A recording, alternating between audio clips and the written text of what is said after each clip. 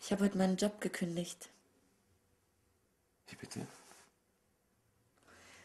Der Typ, dem der Laden gehört, hat mich angegrapscht. Da habe ich ihm eine geknallt. Und jetzt? Irgendwie tut er mir leid. Keine I run